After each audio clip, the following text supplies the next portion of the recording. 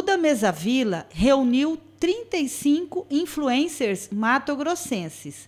A intenção é fazer um influencer fest em cada mês em toda cidade diferente. A próxima vai ser em Rondonópolis, já vai ser mês que vem. Cada influencer impacta e conquista seguidores e fãs. Realizam produções de conteúdos. Usam as mídias digitais como meio para entregar informações. Meu forte, na verdade, é os vídeos de maquiagem, eu faço challenge, é, tutorial às vezes nos stories, eu também gravo muito vídeo com a minha família. Agradeço muito pelo convite, me segue lá no Instagram, sou modelo fotográfica, tiktoker também, vai lá olhar meus conteúdos e ó gente, a festa tá maravilhosa. Lá no Instagram eu passo receitas diariamente, falo sobre looks plus size, tá? E falo também sobre transição capilar. Influencers Fest, noite de diversão e muitas selfies. Ai, tô muito feliz por ser convidada, prestigiando essa festa da Duda que tá maravilhosa, galera. E tá só começando, tem muita coisa por vir ainda. Está só começando mesmo. E olha quem chegou. É sobre poder que você quer falar, meu bem. É sobre poder.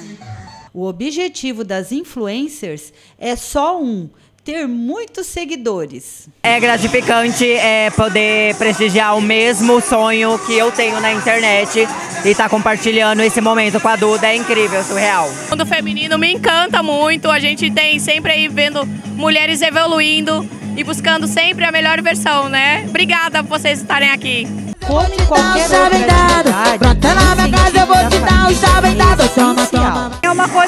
gosta, né? Ela adora estar tá numa, nessa vida de redes sociais, tudo. Então, assim, eu apoio muito ela. Eu acredito, assim, que ela tem muito ainda para crescer, para desenvolver aí ainda. Eu vim aqui por causa da minha neta maravilhosa, Maria Eduarda, né? Papai Noel influencia crianças do mundo inteiro.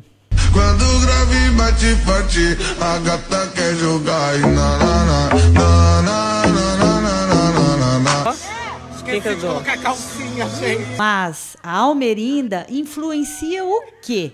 Para saber, é só seguir o Instagram do ator André Deluca. E a influencer faz um convite aos seguidores e à população. Falam que eu sou uma influenciadora, né? Espero que positivamente.